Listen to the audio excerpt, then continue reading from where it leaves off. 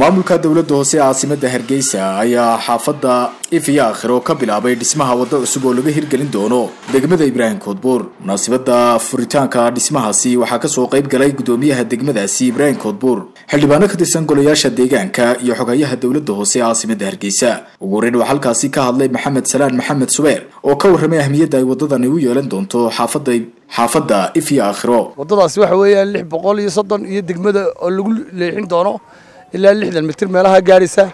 Waxay noqonaysaa lix boqol iyo toddobaatan meelahaasaan filayaa cabirkeedu waxaan jecel lahay waddadaasi inay lingaxeedii yeelato biyo mareenkeedii yeelato.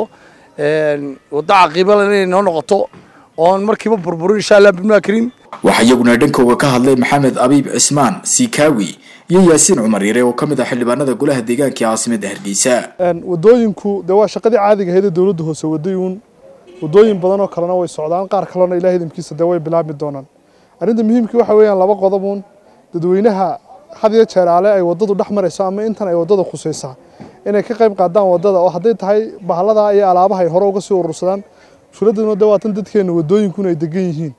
Dadada kale had iyo jeeraale marka waddo la samaynayo cid baa cabanaysa. Waxaanu dee leenahay wixii danta guuda mar haddii aan wixii cidi qaadinayn oon qof lahayn inaan waxba laga cabanin haddii baloodhkaaga maraysa iyo haddii ku jeeraysa iyo haddii deyr lagaa duminayo intaba inaad u dulqaadato maadaama aan cidina lahayn ay waddadu dankuu tahay.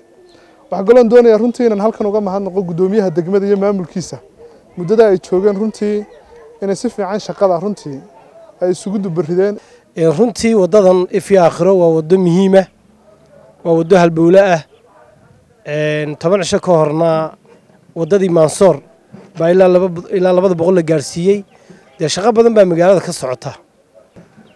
Runtii halkay waddadu soo gasho cidna laga baryi maayo. Qofka waddo degey isagay u taallaa waa la jiidhayaa cid kastoo contribution haysa oo la diyaara iyadana waxaa waajibah in kuyuuga la geliyo oo shaqada ay markaa u baahan yihiin loo qabto xogayaha dowladda hoose ee caasimada hargeysa siciid nuur jaamac ayaa ka warramay ahmiyadda waddadan ay u yeelanayso bulshada ku dhaqan xaafadan. Iyo guud ahaan maamulka dowladda hoose ee caasimada hargeysa dadaalada horumarineed ay ka wadaan caasimada hargeysa. Fishanka amba aragtidaanu ka leynay waxa weye waddadan inay noqoto waddo wanaagsan oo imkaaniyaadkii wadda lahaan jirtay oo dhan u dhammaystiran. Sidoo kale waxay ku socotaa istaraatiijiyadda waddadan iskamaanaan bilaabin. Road networka waxa la yidhahda amba waddooyinka magaaladu siday iskugu xidhan yihiin ayaa istaraatiijiyaddu tahay inaanu isku xidhno jidka boqol iyo kontonka oo jid weyna iyo jidka dhexee wadna ee magaalada u ah jidka wadnahee weyn ee magaalada u dhex mara. Marka waddadani iyo waddada kale iminka dhinaceennan inaga xigtaa saldhiga koodbuur iyo boqol iyo kontonka waa la isku xidhay. Haddana saldhiga koodbuur ilaa iyo hotel guleed qorshaheedu waa diyaar inay weegaga soo socdaan maalmaha soo socda ay noo bilaabmaan. Ayaanu rajaynaynaa